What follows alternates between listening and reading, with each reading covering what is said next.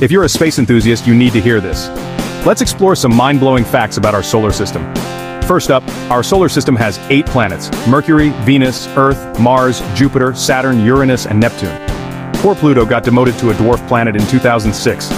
Did you know the Sun contains 99.86% of the solar system's mass? It's the boss of everything around here. Jupiter takes the crown as the largest planet. It's so big you could fit 1,300 Earths inside it.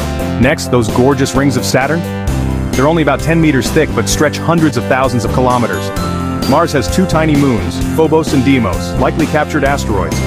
Mercury swings between extreme temperatures from minus 173 degrees Celsius at night to 427 degrees Celsius during the day. Uranus is a bit of an oddball, rolling around the sun with a 98-degree tilt. And beyond Neptune lies the Kuiper Belt, home to icy bodies and dwarf planets like Pluto. Finally, shout out to the Voyager probes launched in 19